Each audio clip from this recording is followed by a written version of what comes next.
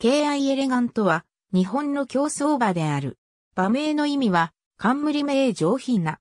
主な勝ち倉は2014年の福島牝馬ステークス、2015年の京都牝馬ステークス、2011年7月17日、新潟競馬場で行われた芝戦400メートルのメイクデビュー戦に出走したが4着。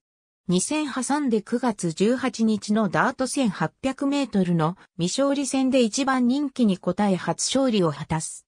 参戦挟んで2012年5月27日のダート1600メートルの条件戦で勝利したが、その後は4戦して5着が最高だった。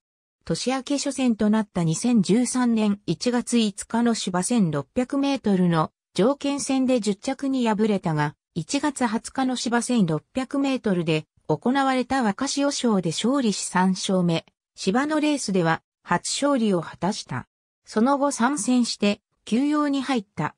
休養明けの6月30日の桜んぼ特別で3着、続く白川特別で2着に敗れ、一戦挟んで臨んだ、木更津特別では2番手追走から抜け出し4勝目を挙げた。続く、秋風ステークスは4着に敗れ休養に入った。2014年2月2日の節分ステークスでは10番人気の低評価ながら勝利し、オープン入りを果たす。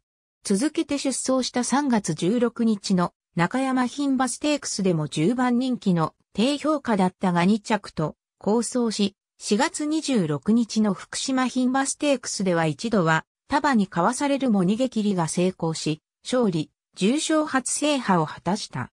続く5月18日のビクトリアマイルでは3番手を追走したが6着に敗れ休養に入った。休養後8月のクイーンステークスは7着だった。年明け初戦となった中山金杯は13着と大敗したものの、京都牝馬ステークスを勝利し、重賞2勝目を挙げる。ビクトリアマイルでは2着と構想するが、その後は惨敗が続き11月のマイルチャンピオンシップを最後に現役を引退した。引退後は松田牧場で繁殖牝馬となる。KI エレガント号が競走馬登録抹消日本中央競馬会。2015年12月29日閲覧。2015年レース。結果 netkeiba.com 2015年1月26日閲覧。第11回福島牝馬 S KI エレガント逃げ切り初重賞。スポーツ日本。2014年5月27日閲覧。KI コブラ、ジャビスサーチ。www.jbis.or.jp。2021年5月29日閲覧。クイーンズグレート、ジャビスサーチ。